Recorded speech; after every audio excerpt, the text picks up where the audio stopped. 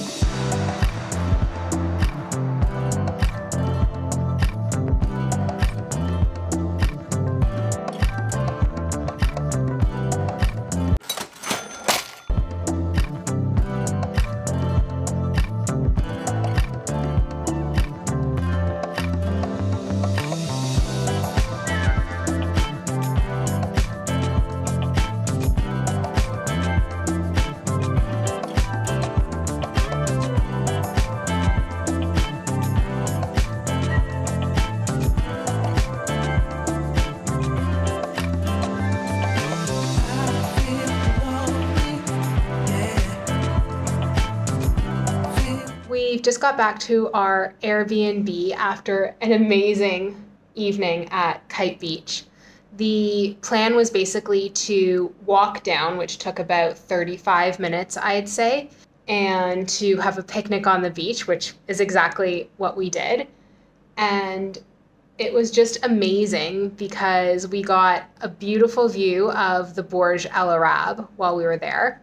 Like you're gonna hear Burj a lot, so you got the Burj Khalifa, which is like over a kilometer tall and is the world's tallest building, and then you have the Burj Al Arab, which is the world's only seven-star hotel, I think it was.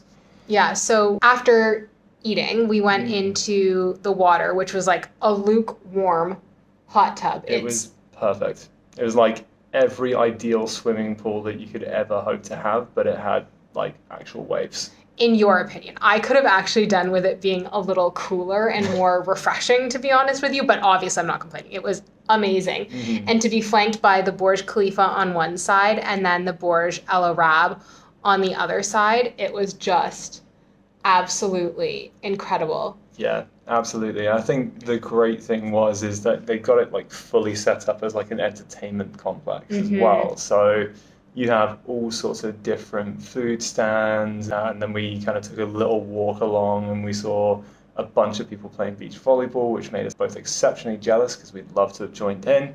Others were playing pickleball. I think there was like a little go kart track as well on the beach, which was nuts. So There was like a trampolining area for kids. There were people biking along the boardwalk, walking, running. Like you could just lead such an active lifestyle here, either very early in the morning or like probably seven o'clock at night and onwards. It is worth noting that we have come at what people would probably describe as the worst time of the year because it is hot.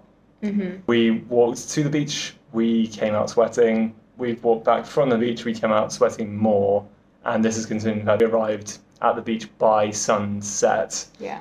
And then we'd come back in the dark. So, But keep in mind, it wasn't unbearable. Like if we No. hadn't been able to walk, we would have taken an Uber. Mhm. But it was a hot, like 35 minute walk. Yeah, exactly. So that's just something to bear in mind. But honestly, whenever certainly I've gone on city breaks and things like that, then I've kind of taken a bit of an internal assessment of like whether the city is just really, really good for a visitor or whether it's like a really livable city. Like, what, could I imagine myself living here? And I have to say, like, even based on the what 12 hours that we've spent here now, I can firmly say that Dubai falls very much under the livable category. Like we Mhm. were even talking about like how nice it would be to be kind of around the Kite Beach area and all of that kind of stuff. So And obviously, we've only seen one area. yeah, but it's the weather, the walkability, the beach and water access, the active lifestyle,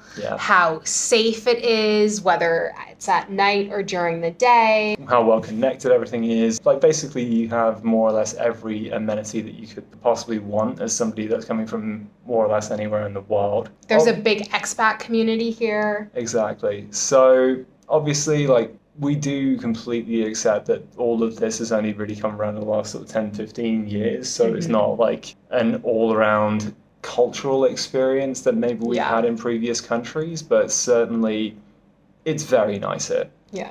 Can't say any further than that. And that's just our initial impression. We cannot wait to explore more tomorrow. Good morning. From Dubai. It is an absolute scorcher out. I just checked AccuWeather and it says it's 34, but real feel 43. So I hope that should give you an indicator of what we're feeling right now. Not hot. It is well hot. Might be too hot. Might be. The good thing though is that we are going to Dubai Mall, so we'll be inside most of the day with some air conditioning. And Dubai Mall is only like two metro stops away from where we're staying. But the nice thing about Dubai Mall is that we'll also be able to see the Burj Khalifa from there, which is the world's tallest building, and go to the fountain show. So there's a lot for us to do in that area. Let's crack on. Let's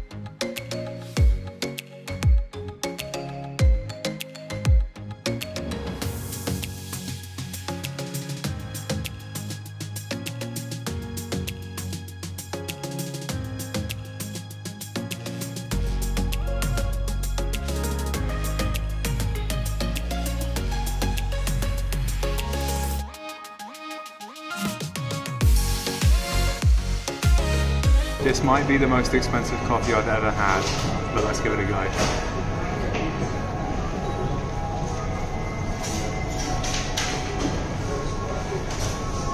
It's probably the best coffee I've ever had as well. Fair play. Good, good job, Arabica. You've done well.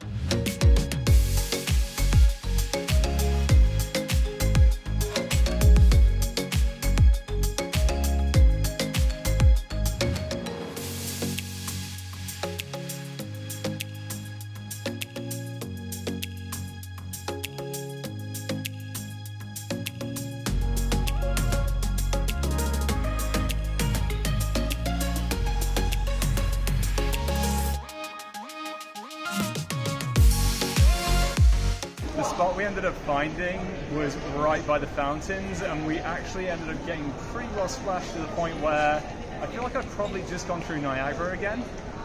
Kind of like Hornblower. Exactly. But we're in Dubai. Kind of nuts. Let's carry on.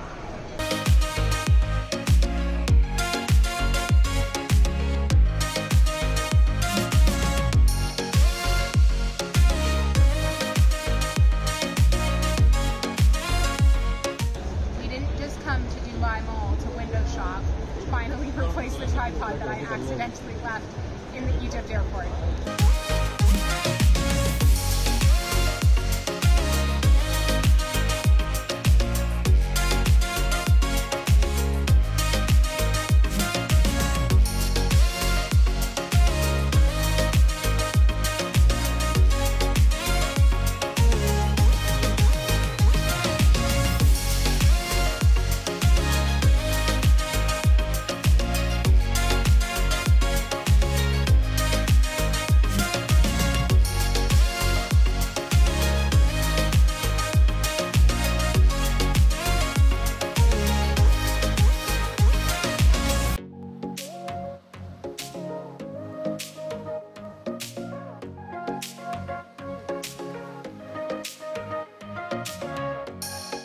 Tempting as the food court was, it was just too expensive because the cheapest thing in there we could have bought was about 60 dirham total. And so we came to Grandiose Supermarket, which is also inside the mall, and we got a halloumi sandwich, some pita, some avocado hummus, a pomegranate juice, and water, all for 40 dirham, which is about 14.50 Canadian. So we saved 20 dirham by choosing the supermarket instead of the food court.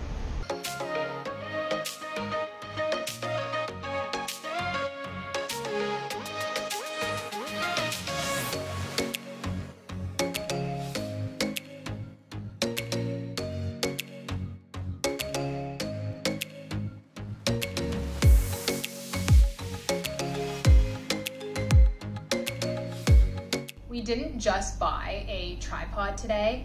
As you can see, or not see maybe, this shirt is getting very stained and Nick's white shirt is also.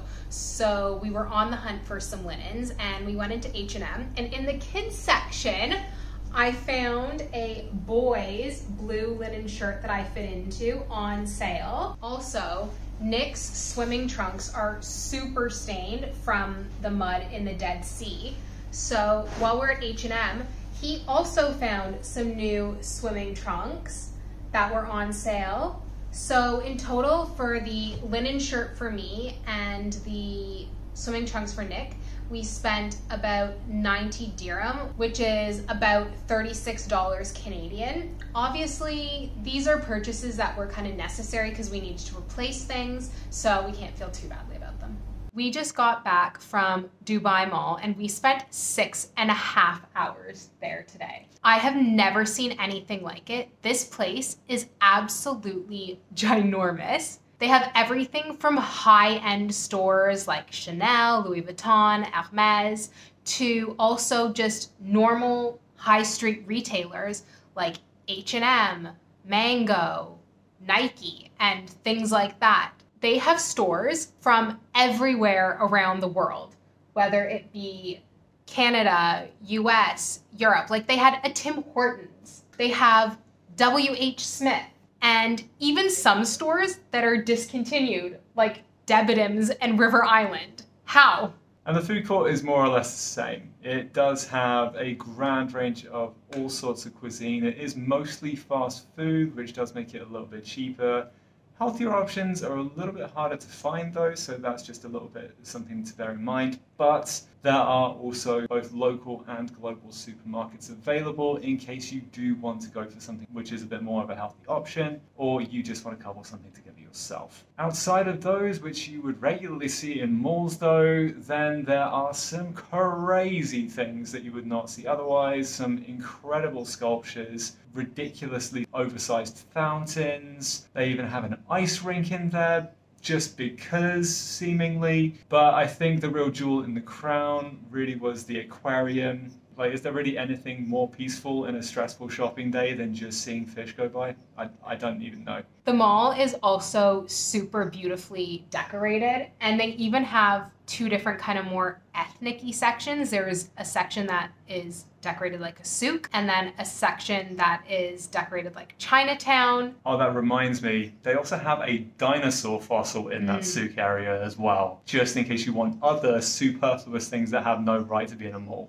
Basically, you can get anything you want there from clothing to technology. Everything you could possibly Mhm. want, you can find it in there pretty easily. And that's another really neat thing. Like, because it is so massive, it is very often that you will find yourself getting lost. I think we probably got lost about eight times today, at Mhm. least. But the good news is, around pretty much every corner is an information board which is interactive. You type in where you want to go, and not only does it show you where, but it also tells you how to get there from that information point with detailed instructions. So good. Never had an experience like that before. It was a great way to spend the day and an air conditioning to boot. Exactly. Very, very good day indeed. We're going to spend the rest of our day just relaxing, and we'll be back up and at it tomorrow. So until next time, take care. And keep smiling.